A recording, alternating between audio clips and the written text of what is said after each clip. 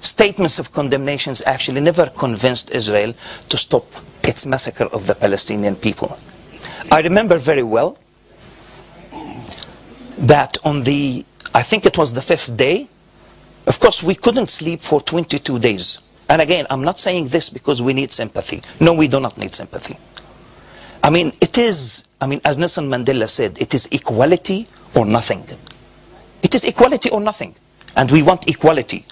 I remember on the fifth day, I was listening to news, and they said they shelled the Sheikh Radwan cemetery. We, we had already buried my mother in 2005. I lost my parents in 2005.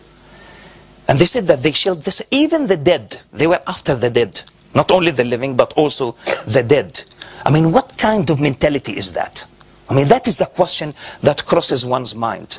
I mean, I claim to be, well, in a way, an intellectual, a conscious person, and I can't understand it. I really cannot understand it. And I would really like people, I mean, you have an experience here in Germany, and I'm glad to hear what you have to say. I mean, to target dead people. So I had to rush to the cemetery because they said that dead parts of the dead people were thrown out on the street. And I wanted to pick up the dead parts of my mother. I mean, why do something like this? So the message was very clear. The international community did not react in February, March 2008. And that is why Israeli occupation forces came back on the 27th of December 2008 and they carried out a horrific massacre. A horrific massacre. I mean, we are talking about 1,400 people. The population of Gaza is what, almost about 1.5 million. And what happened then? Well, at the end of the massacre, about six, I remember, six European leaders had a press conference with Ehud Olmert. And Ehud Olmert thanked them for their understanding of Israel's need to defend itself, to defend its security. Its security against the Palestinian children of Gaza. Its security against firecrackers, the so-called Qassam, Qassam rockets. And I strongly believe, I mean, one, I remember reading one of the interviews, and I'm sure Ilan and Ali and Lubna and Mazen know this very well. One of the soldiers in one of the interviews in Haaretz, he said, and I actually, I want to quote exactly what he said for you to understand. I can paraphrase it, but I prefer to quote it. He said, that is what is so nice, supposedly, about Gaza. You see a person on a road, walking along a path. He doesn't have to be with a weapon you don't have to identify him with anything and you can just shoot him. Unquote. So, why not? Why not expect another massacre on a larger scale tomorrow or the day after tomorrow? I mean, the international community will do absolutely nothing. And notice, according to Haaretz, and I remember Yedioth Ahronoth, mainstream Israeli newspapers, 94% of Israeli Jews supported the war on Gaza, the massacre of Gazans. After that, Israel had elections, and Israelis Israeli Jews decided to vote for the most fascist government in the history of the State of Israel since its inception, establishment 1948. We are talking about Avigdor Lieberman here. We're talking about Avigdor Lieberman. And if you don't know who Avigdor Lieberman, Avigdor Lieberman supports the ethnic cleansing of Palestinians. Lubna Masarwa will be with her family and the village that she comes from will very soon be ethnically cleansed. Gideon Levy, a courageous Israeli journalist, had this to say before the massacre. He said, Israel now looks very much like the Germany of the 1930s. And this rings a bell. I mean, this rings a bell. Now, this is a warning. This is a very serious warning. And what are you going to do about it? I mean, there is a parallel here. History, well, if history, history does not repeat itself, but if it does, it repeats itself either as a tragedy I didn't say this, Marx said this, or as a farce. And actually it is repeating itself as a tragedy and a farce in Palestine. So now after the massacre, we expected the international community to say, well, no more siege, no more blockade. Palestinians, the Palestinians of Gaza should live a normal life like you, like Israeli Jews in Israel, like everybody. But unfortunately, no. Because in 2006, that is the reason. That's one of the major reasons. In two January 2006, the Palestinians naively believed that they could go to the polling station, vote a party that neither the Americans nor the Israelis like, and the Palestinians voted for Hamas. That doesn't mean that all Palestinians or most Palestinians support Hamas. No. The Palestinians were fed up with the fiction of the two-state solution. In 1993, Yasser Arafat signed the infamous Oslo Accords, which the late Edward Said called Second Nakba. Negotiations continued actually until today, 17 years, and actually the number of settlers has increased from 193,000 in 1993 to more than half a million now in the, in, in the West Bank. And of course, Eastern Jerusalem is part of the, of, of the West Bank. We are not talking about settlements, outposts here and there. We are talking about cities. People who come from the West Bank, and Mazen will comment on this. I mean, Gilo, Ariel, we are talking about big cities here. You have half a million people living there. And then, that means, and I said in one of the articles, and I compared the Gaza massacre to the, to the Sharpeville massacre in 1960. Now, in, the, in Sharpeville, Sharpeville massacre in 1960 in South Africa, the racist white South African police killed 69 people. And that led in a way, in a way to the intensification of the BDS campaign against apartheid South, South Africa. Um, some British intellectuals called Gaza, not the Sharpeville, they called it the Guernica of our time.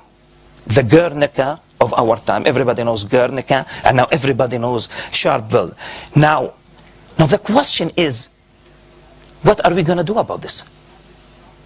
Really, I mean, the international community, I remember very well Margaret Thatcher, Ronald, Rene, Ronald Reagan calling Nelson Mandela a terrorist in the mid-80s. All right?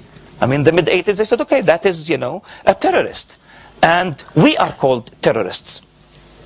Our leaders are called terrorists. But South Africans never gave up because they led a fantastic campaign of boycott, divestment, and sanctions. BDS, boycott, divestment, and sanctions. It intensified in the late 80s. The American government, which had wonderful ties with the apartheid regime, the European governments were forced actually to boycott apartheid South Africa. They didn't do that because they like black South Africans. They didn't do that because they support um, the, the struggle of black South Africans, they did that because they were forced by civil society organizations. Because of the formation, for example, the formation of the Black Caucus in the United States of America. Now I have been told by some comrades here that there are issues that are very sensitive in Germany. You cannot talk about BDS. You cannot talk about boycott because of the history, because of the historical background. Actually, I don't care. I don't care. I'm sorry to say that. I really and honestly don't care because that is not my problem. I don't want to be punished for crimes that I did not commit. Now, if you are feeling, if somebody is feeling guilty, they can deal with that guilt complex away from me. I don't, our children don't have to pay the, to pay the price for that. And so we don't care. And we are going to continue our struggle. We are going to continue our struggle led by BDS, boycott, divestment, and sanctions. There is a huge gap. There is a huge power imbalance between the oppressor and the oppressed. Israel has, according to some military experts, the fourth strongest army in the world, equipped with F-16s, F-15s, Merkava tanks, Apache helicopters made in the United States of America. What do Palestinians have? They have They have stones and they have their strong will. They have their strong will. Exactly like black South Africans. Black South Africans, the oppressed in South Africa, had their strong will. Nelson Mandela never compromised. And when he negotiated, he had this to say. He said, only free men can negotiate. Only free men can negotiate.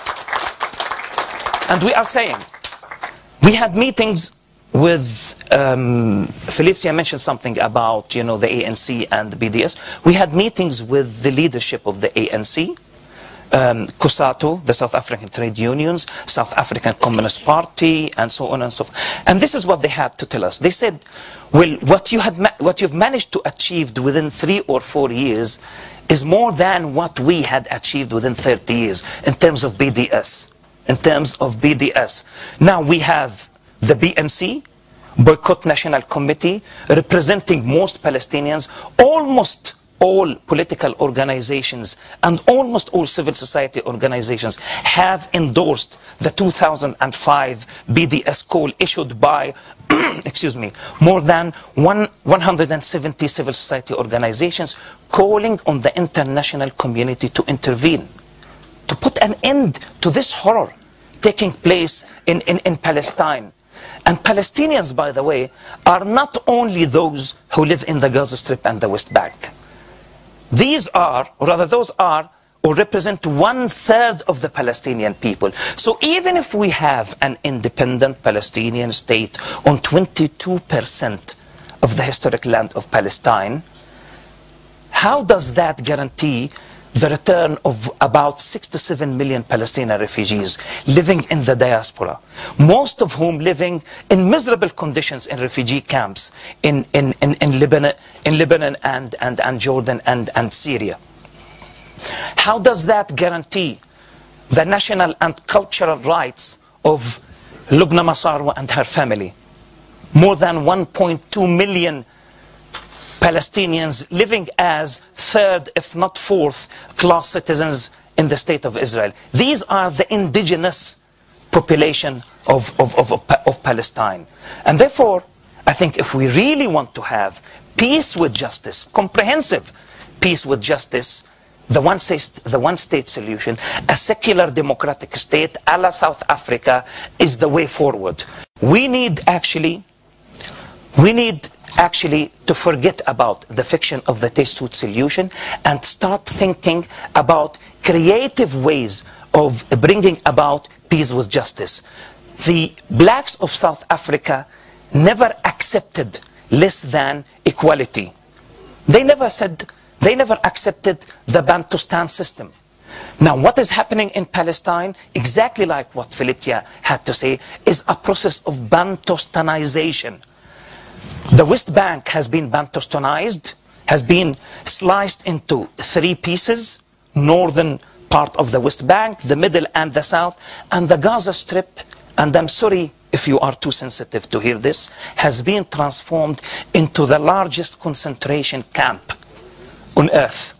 And it is now time for us, with your help, with international support. You are the international community.